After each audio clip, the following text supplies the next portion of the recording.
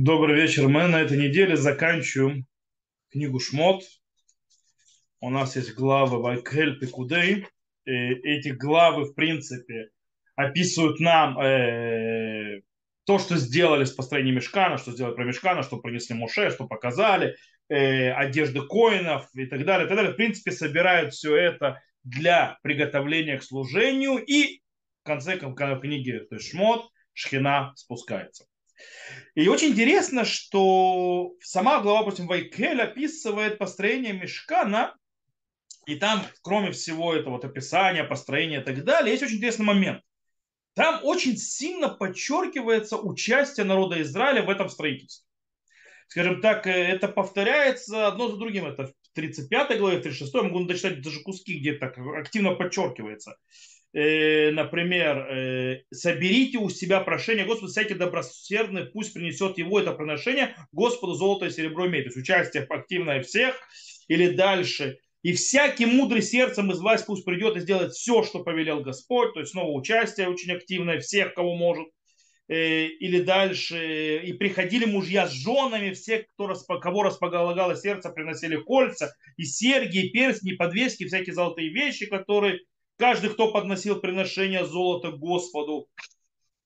Или следующий, каждый, у кого нашлось синеты, и багряницы, и червельницы, и, винос, и весона, и козьи шерсти, и кожа баранов, красной кожи э, тахашевы приносили. То есть есть очень-очень активное участие еврейского народа в строительстве храма.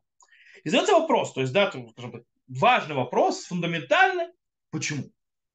Почему это так сильно-сильно подчеркивается? То есть, да, почему народ Израиля получает настолько важное такое вот очень э, централиз... центральное место в строительстве мешканов? По-настоящему есть несколько ответов э, на этот вопрос. И мы, я хочу привести три, три ответа, когда первые два они больше связаны с историческим моментом, то есть да, головы Вайкаэль, когда она происходит с точки зрения Вторы и с точки зрения народа Израиля, где он находится, а если более быть точным, сразу после э, греха Золотого Тельца. Да? То есть все это описание происходит после греха Золотого Тельца, и не зря там есть. Начнем с первого. То есть, да, э, самое, скажем так, центральное или там, скажем так, базисное, ключевое слово в э, первом ответе это муравут, участие. Давайте объясню. После греха Золотого Тельца произошел очень следующий вопрос. То есть э, отношения между Всевышним и народом Израиля нарушились, мягко сказано. То есть, да, э, Всевышний то есть, хотел их уничтожить, убрал свою шхину, э, Мошера Бейну вытащил свой шатер и так далее. Когда Мошера Бейну приходит ко Всевышнему просить прощения – он ему что говорит? Лама юмру Мицраем. Зачем скажет, то есть Египет? Или схорля Авраам или Ицак Яков. То есть вспомни заслуги отцов Авраама, Ицака и Якова. И так далее, и так далее. То есть, в принципе, речь идет о прощении за само действие плохое. Но это никак не исправляет разрушенные отношения между Всевышним народом Израиля.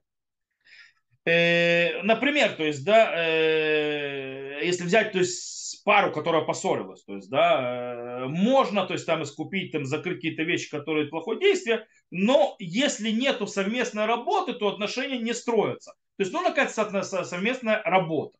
Вот для этого это и приходит. То есть, да, по-настоящему Моше Рабейну мог создать мешкан сам. Он мог делать все сам, собрать все сам и так далее. И Тора написала то же самое, что он так написала. В яс Моше коля цива Хашем. То есть сделал Моше, как, как постановил Всевышний. Она так так же написала. То есть произошло бы то же самое. Но что да, тогда бы осталось? Народ бы так и остался бы в плохих, то есть в разрушенных отношениях со Всевышним. Таким э, образом, то, что весь народ делает действия, строит, делает, дает для построения мешкана и так далее, в принципе, это возвращение и строительство назад вместе отношения между Всевышним и народом Израиля. Что очень важно. То есть, в принципе, получается, Тора повторяет здесь, в наших главах, то есть вот эти все аспекты строения мешкана, потом одежды коинов и так далее, и очень сильно акцентируясь на том, что это делает народ Израиля, для того, чтобы показать желание народа исправить то, что он сломал. Это первый ответ. Ответ второй. Второй ответ, в принципе, идет в ту же сторону, связан с э, грехом золотого тельца. Но здесь э, немножко другая задача. Здесь во втором то есть ответе будет, у народа Израиля была огромная пассивность. Сейчас объясню. До дарования Торы, включая дарование Торы, народ Израиля вообще не участвует в процессе их избавления. Даже чуть-чуть. Ничего. При выходе земли Израиля, не в принятии, не в принятии Торы, не в подготовке к входу в землю Израиля, ничего. И это повторяется постоянно, постоянно и постоянно. Всевышний выводит их из Египта, то есть, да, как это сказано, допустим, в Агаде Песхальной, которую мы скоро будем читать. В Аварке Берец Мицраим Балалязе, я прошел в земле египетской в эту ночь, ло они вело то есть они вело малах, то есть я не ангел, и, то есть поразил все, каждого первенца земли египетской, я и не Сараф, то есть да, не Серафим, и всех богов Египта, то есть я сделаю им суд, суд я, а, не, то есть я и он, и не, и не посланник, а не Ашем, а не Улуваха. То есть я Господь, и я никто другой. Э, то есть, в принципе, это, что происходит, также нам Всевышний воюет за нас с Египтом, как сказано, Шем лахем лахем ватем тахаришум, то есть, то есть э, будет Всевышний то есть, воевать за вас, а вы будете сидеть тихо. Э, это то, что происходит на море.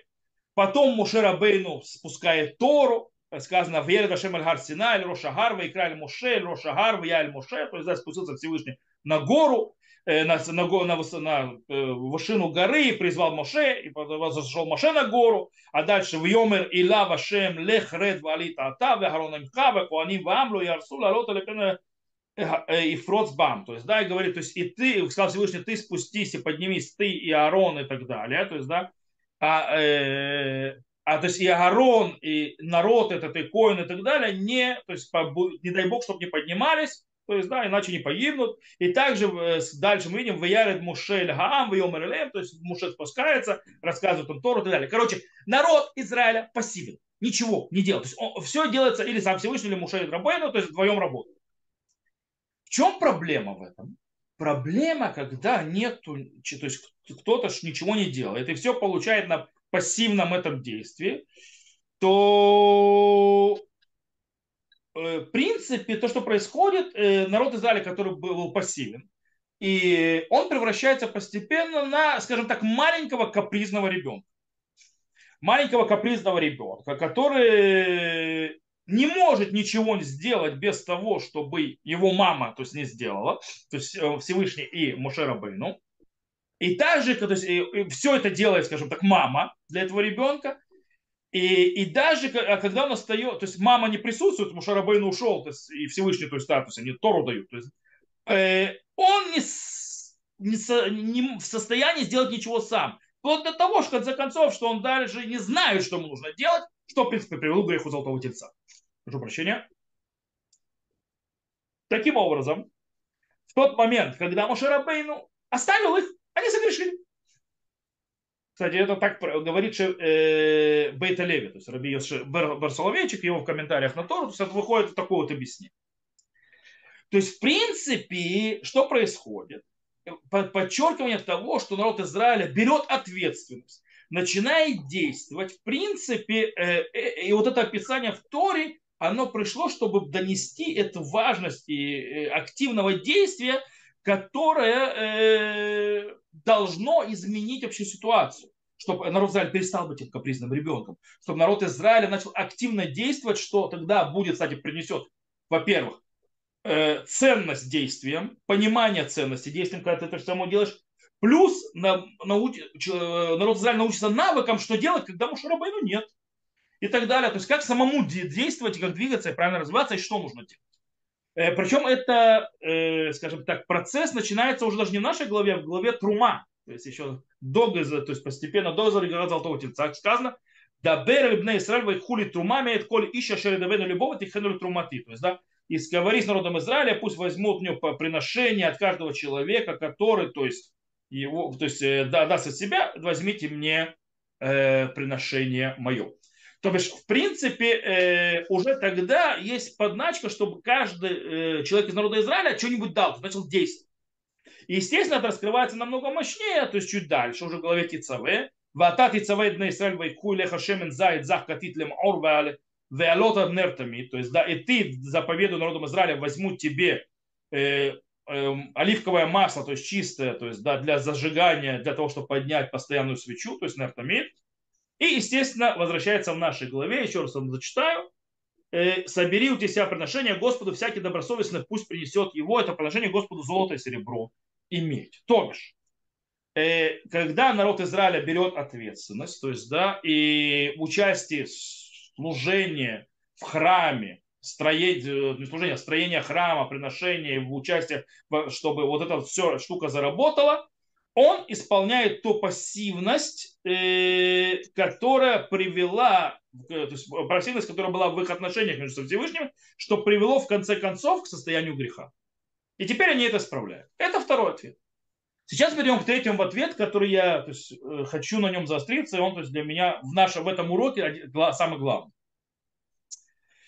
То есть два ответа я уже сказал, перейдем к третьему. Третий ответ, он совершенно и кардинально отличается от первых двух э, ответов, которые я сейчас вам привел на наш вопрос. На наш вопрос по поводу, э, почему так сильно описывается активное участие народа Израиля в строительстве Мешкана. И для того, чтобы ответить на этот вопрос, то есть э, дать этот ответ, то есть третий, мы сначала зададим вопрос, который тоже обсудим и э, увидим интересную вещь. Итак, в начале главы Вайкель есть три стиха, которые вроде не в тему, то есть, да, то есть, что они здесь делают, которые вообще, в принципе, не соответствуют продолжению главы. Эти три стиха звучат так. И собрал Моше все общество снова Израиля и сказал им, вот слова, которые велел Господь исполнить. Шесть дней можно делать работу в день же седьмой, да будет освящение полнейшего покоя Господу. Всякий производящий вон и работу предан будет смерти. Не зажигайте огня всех жилищах ваших день субботы. То бишь, эти три стиха что говорят? Они занимаются вопросом запрета работы в шаббат. То бишь, они пришли увековечить понятие времени, над которым полностью э, то есть, э, властвует Всевышний, и человек ему, под, то есть, человек ему подвластен. То есть, в принципе, э, эти стихи идут в полную противоположность продолжению нашей главы, где, которая полностью описывает именно действия человека. По поводу шаббата человек не может делать ничего. Этого в шаббат, то есть вопрос времени и так далее, он сидит полностью под властью Всевышнего. Человек никак не может ничего делать, и человек под властью этой времени, то есть этому аспекту. В отличие от того, что он в мешкане постоянно работает. Э,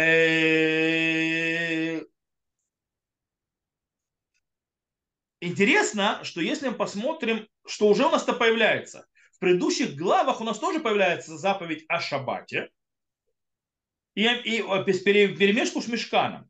Но там порядок обратный. То есть здесь у нас сначала открывается с, меш... Э, с шаббата и переходим к мешкану, а, а, допустим, в главе, то есть начиная с главы Трума, продолжая до середины главы, главы Китиса, э, у нас идет сначала описание мешкана, как его нужно делать, и после этого, то есть и действия человека, который должен сделать, то есть там мешкан, одежда коинов и так далее. И только после этого посреди главы Китиса появляется божественная э, заповедь, то есть приказ, вышамру на Израиль это шаббат. То есть и будут соблюдать народ Израиля шаббат. Теперь, у нас в недельной главе наоборот. Сначала шаббат, а потом действие человека. Почему? Вот этот вопрос, который задать, он нам будет ключом для того, чтобы понять третий ответ на изначальный вопрос. Почему так часто повторяется действие человека в наш, э, по поводу мешкана в нашей главе? Дело в том, что э, скажем так, для того, чтобы ответить на этот вопрос, нам нужно небольшое введение вести по поводу аспекта шаббата. Что такое шаббат? Начнем с времени. Дело в том, что время – это абсолютное понятие. Человек не может повлиять на движение времени. Никак. И он не может никак повлиять ни на годы, которые проходят. У него никакого нет влияния на это. Всевышний установил время как железное правило в этом мире. и человек полностью им подвластен и полностью то есть ему подчинен, и он не может от него освободиться. Как написано у нас в главе. Коль хаусе мелаха юмат. Каждый, кто будет делать действие, умрет. Что имеется в виду? То есть есть полное, абсолютное постановление царя, что запрещено его нарушать. Почему? Человек обязан подчиняться постановлению царя, иначе он умрет. Что имеется в виду? Это, абсолют, это абсолют. Абсолют, который невозможно изменить. Это время. Интересно, что этот абсолют находится также в первой главе книги Берешит, связан со временем. Там описывается человек, его создание, как одну из, скажем, частностей, еще одну частность внутри всей системы и всего процесса творения. И это, все эта система и процесс творения разделен на время. И сказано, в яр луким, кикола шираса, вегины тов меод, веэр веевокер йома шиши. То есть человек, то есть описано э, творение человека и так далее, и он является кем? Он является э, э, частью временного процесса. Первый день, второй день, третий день и так далее. И в принципе э, человек был создан э, в процессе времени, было утро было вечер, день шестой. Часть времени, часть творения. Интересно, что дальше дается новая реальность, и там появляется понятие места. Не времени, а места. И это вторая глава книги Берешит. Там описывается, что, то есть описывается вообще, то есть понятие места, это там, где человек живет, то, что ему принадлежит и так далее, и так далее, это то, над чем человек да власть. Человек, то есть держит какую-то вещь, землю, дом, и так далее. И они в его, в его э, то есть он хозяин этого, он действительно полный, абсолютный правитель над этим и может с этим делать все, что захочет. Это его. Это вопрос места. И это так происходит во второй главе книги Берешит. Как сказано, «Ваита Ашем Луким ган беэден микедем ваясем шам это Адам ашер яцар». То есть и посадил то Всевышний сад в Эдене, и там поставил человека, которого создал. Там нету времени. В этой главе не описывается время ни разу. В первой главе книги Берешит описывается время. Во второй главе книги Берешит описывается только место. Ган Эден, потом описывается река, которая выходит из Эдена, которая омывает это и разделяется на четыре реки, э, Пишон э, и так далее, и так далее. То есть Всевышний дает человеку мир для того, чтобы человек им управлял. И там он смог управлять и исполнять желания Всевышнего. Как сказано уже и Шлумо тоже. У царя Шлумо, когда он строит храм, так в книге царей описано, Боне банити бейтзвуль, махон лишифтиха уламим. Я построил тебе дома, то есть это место обитания твое вечное. То бишь человек может построить для Бога дом в этом мире, потому что это в пределах управления и власти человека. И таким образом осветить его ради Всевышнего. О, теперь мы переходим к следующему этапу. Мы знаем, что есть пути, когда человек может осветить и время тоже. И таким образом, если он может его свести, он может его внести, то, что называется, в свою, на свою территорию, в свое, на свое, что называется, на свое домашнее э, это, поле. То есть, где он правит, где он играет, где он игрок, э, то есть активно, не пассивно.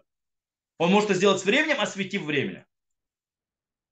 И это, то есть, описано по поводу шаббата тоже.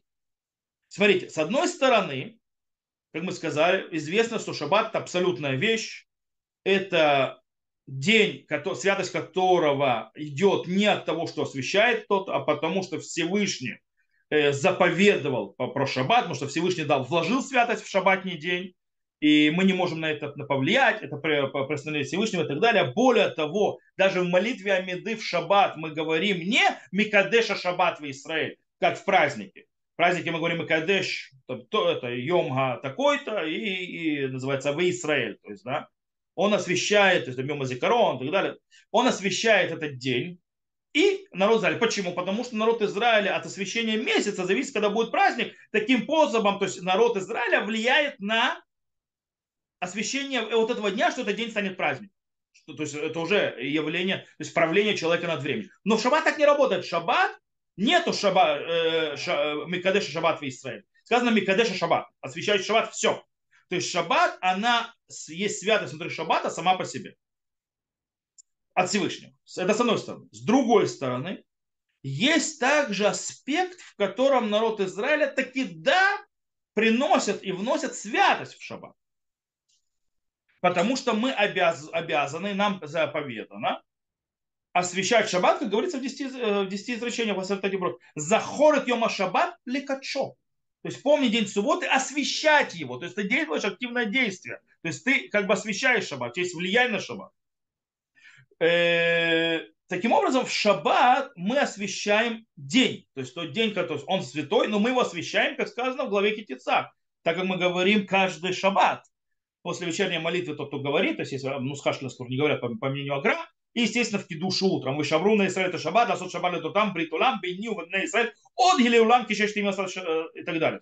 И соблюдать, соблюдать э, народ, сыновья Израиль шаббат, делать шаббат на веки союз, то есть постоянным то есть союзом между мной и между народом Израиля, знак он вечный, ибо шесть дней работал и так далее. То есть, да, э, но, то есть вроде, то есть человек вошел здесь на территорию Всевышнего и тоже вроде появляется, то есть у него есть какое-то определенное влияние на параметр времени, святость субботы. Но вместе с этим, несколько стихов до этого, в главе Тисат снова появляется абсолютная заповедь Всевышнего. Шесть мимо Асем у Вайома Шви, Шаббат Шаббатон, Кодыш Лашем, Коля Асем Мелаха, Бьома Шаббат Мот Юмат. То есть 6 дней работы, 10 делай работу, седьмой день шаббат, то есть, да, то есть шаббатон, то есть прекратить свою деятельность, святой он э, Богу, каждый делающий работу в этот день, то есть день шаббатни, смерть умрет. Окей. Получается, с одной стороны человека, да, есть управление над шаббатом, а с другой стороны нет. Да, вре- над временем у него какая-то власть, а с другой стороны нет.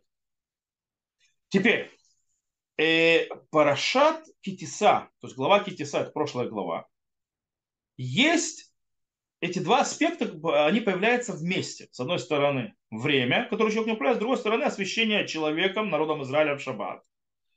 То есть абсолютный приказ Всевышнего, с одной стороны, и с другой стороны, возможность э, вмешения человека. Для чего это делается? Это делается для того, чтобы показать модель. Какую модель? Модель, в которой Всевышний, да, дает человеку возможность управлять временем. Есть модель такая. Несмотря на то, что это абсолют время, которое влияет человек порабощен ему, но Всевышний дает возможность, да, влиять на время. Он дает возможность освещать время. Делать э, то, что, в принципе, вроде бы э, чистое место Всевышнего в главе Вайкхель Тора нам пришла подчеркнуть, что есть вещи, которые оторваны от человека. Вот это вот описание, три стиха первых, то есть, да, шесть дней мой дело работу и так далее. С одной стороны, оно абсолютно вне управления человека. И с другой стороны, то есть, да, и, то есть, есть законы и так далее, которые над человеком, они то есть, заставляют человека быть под ними. Также Тора хочет подчеркнуть вместе с тем, что несмотря на то, что то есть время не было дано человеку, оно не дано, но вместе с тем, напротив этого времени, строительство мешкана, который, а, а, то есть что такое мешкан? Это место. А место, как мы объяснили, это то, на чем у человека, да, есть право, да, есть полная власть. То есть у человека э, есть, то есть как бы мешкан, он символизирует возможность власти человека и возможность освящения. Таким образом, ответ на вопрос, с которого мы начали, почему такое есть активное упоминание, что народ Израиля настолько активно принимал э, э, такое активное участие принимал в строительстве храма, мешкана и все то, что вокруг, и делая все его убра, убранства и так далее, это показать, то, что называется, вот это вот э, полную э, капитальную разницу, то есть, да, то есть полное отличие от подчинения человека времени.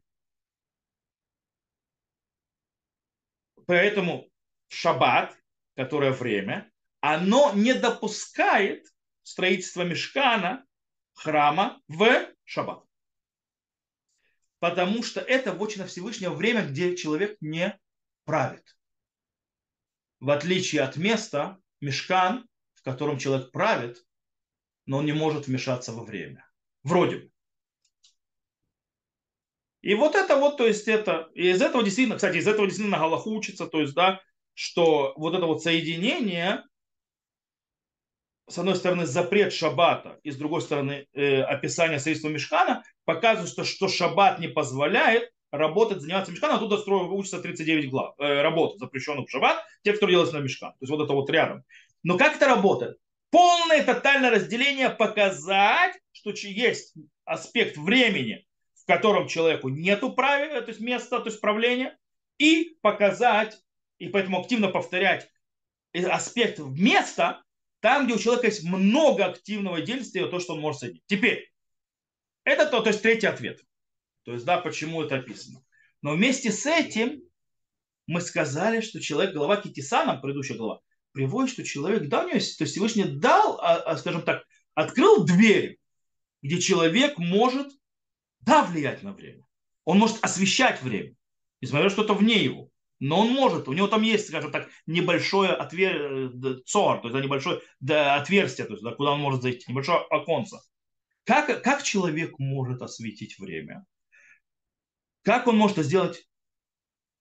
Он, если он занимается вещами, которые вечные, которые не уничтожаются временем, на которых время не властно. Если он занимается этими вещами, то он освещает время, и он как бы получает э, власть над временем. Какие эти вещи? Тора.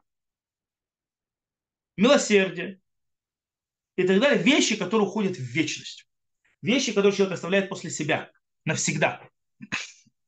То есть, в принципе, э, человек может завоевать и побороботить время, если он ему не подчиняется. Так как, вот, допустим, как вместе с мешканом. Человек не подчиняется мешкану. Он, наоборот, э, место подчиняется человеку. Точно так же, когда человек не подчиняется времени, тогда он может им управлять. И он становится над ним. Как это делается? Это когда человек не смотрит на проходящие минуты, секунды и годы и говоря, ой, я все равно умру, а что этим заниматься, то есть, да, все равно все проходит и так далее, и так далее, и так далее. Но, но если человек направляет свою жизнь на цель, э, постоянно, то есть, да, э, то есть, да, постоянно строит систему, чтобы не быть пассивным внутри времени, а постоянно живет к целью, то есть, да, у него, что нужно что-то делать в этой жизни – то есть не обращая внимания, я доживу, не доживу, я получу наслаждение тех плодов того, что делаю, не получу наслаждение э, от плодов, которые делаю. Я делаю вещи, потому что э, использовать полностью время, которое у меня есть, делать вещи, которые важны, которые вечные и так далее, делать что-то в своей жизни, то есть жить по каким-то целью в жизни. Таким образом происходит, что каждая секунда, которую мы делаем, то есть мы теряем времени зря. Каждая минута, каждая секунда становится под нашей властью. И мы тогда начинаем править сверху временем. Это ту лазейку, которую установил на Всевышний. Это то, что нам несет наша голова. То есть, если мы берем третий ответ, почему Всевышний нам сильно так показывает. Когда мы, то есть, есть вещи, где мы можем активное участие принимать, с другой стороны, время нам не подвластно. То есть, мы там не можем чего ему приписать. С другой стороны, с третьей точнее стороны, есть небольшое отверстие, то есть вход, где можем освещать время. Освещать время – это править время. Как можем править время? Заним... Ставя то есть цели, важные, вечные цели в жизни, идя, идя к ним, несмотря на то, что не обращая внимания, что я завтра умру и так далее, и нечем этим заниматься, то есть все, как говорится, бренно в этом времени, в этом мире, и все и так пройдет. Это то, что оставляет, оставляет человека, кстати, вечно молодым. Когда у человека цель, когда человек не идет и так далее, и продолжает быть не отчаявшимся, уставшим стариком, который смотрит на все даже уже 40 лет и так далее, то у него остается молодая душа. Остается молодая душа, он вдруг, он живет как будто вечно. Он управляет временем. Потом, когда он действительно уйдет из этого мира, то он оглянется назад, он увидит очень многих вещей, но когда он умрет, он умрет с молодой душой. Поэтому Мушера Бейну, который делал настолько всего, настолько всего много, он, он ушел в 120 лет, даже у него морщины не появилась. Это то есть, такой вот интересный аспект. То, я думаю, что вот эту вот жемчужину стоит с собой взять э, в, как э, жизненный, скажем так, приоритет. И это очень-очень важно. На этом я заканчиваю сегодняшний урок. Э, понедельной голове. Надеюсь, что вам было интересно. Хорошо. Те, кто слышал запись, всего, хоро... то есть, всего хорошего. Запись на этом моменте я выключаю.